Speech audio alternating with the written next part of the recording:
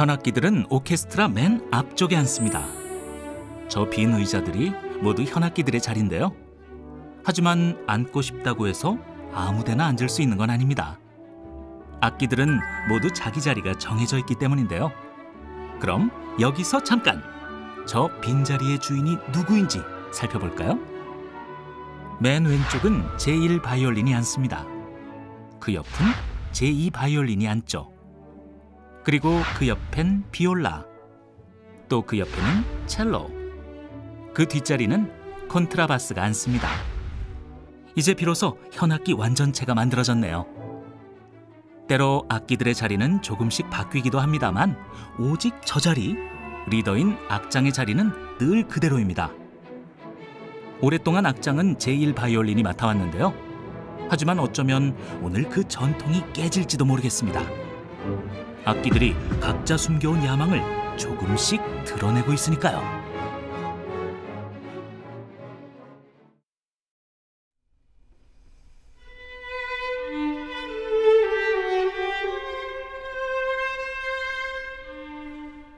오, 이 익숙한 멜로디 누가 연주하는 걸까요? 아, 비올라군요.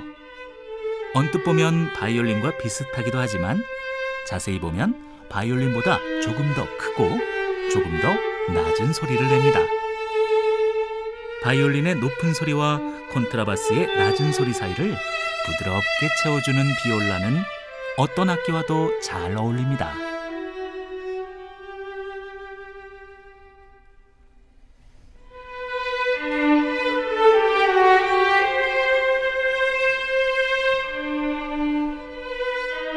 비올라는 좀처럼 화를 내는 법이 없습니다. 누구에게나 어디에서나 저렇게 사랑스런 인사를 먼저 건네죠. 이 특유의 친화력을 앞세워 편안한 미소와 함께 등장한 두 번째 악장 후보 비올라.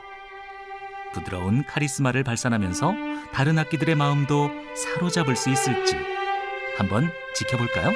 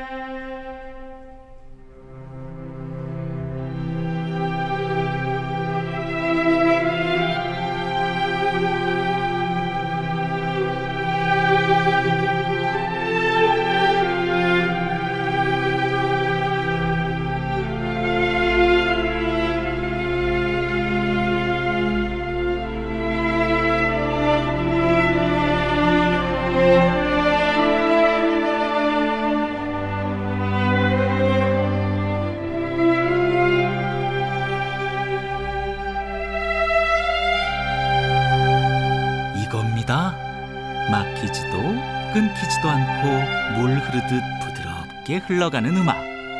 이것이 바로 현악기의 가장 큰 매력입니다.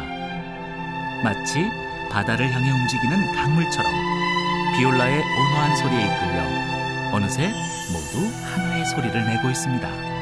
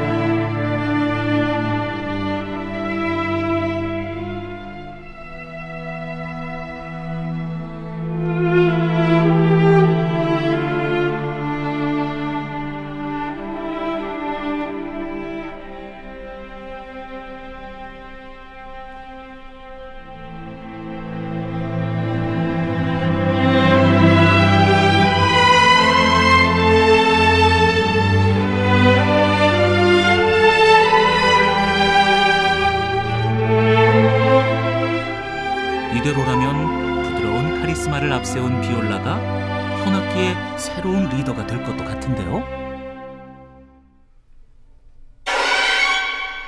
아, 그건 안 된다고요? 새로운 도전자가 나타난 것 같군요. 오, 이거 점점 흥미진진해지는데요. 비올라에 대해 조금 더 알아볼까요? 비올라는 바이올린과 첼로의 사이에서 중간 음역대를 담당합니다. 비올라의 악보를 살펴보면 조금 낯선 음자리표를 볼 수 있는데요. 높은 음자리표도 낮은 음자리표도 아닌 가온 음자리표를 주로 사용하는 것이 비올라의 또 다른 특징이기도 하죠. 비올라는 따뜻하고 부드러운 소리를 가지고 있어서 오케스트라의 사운드를 풍성하고 온화하게 만들어주는데요. 그래서 영화 마지막 사중주에 나오는 비올리스트는 비올라에 대해 이렇게 소개합니다. 비올라는 상처받은 영혼들을 위한 악기입니다.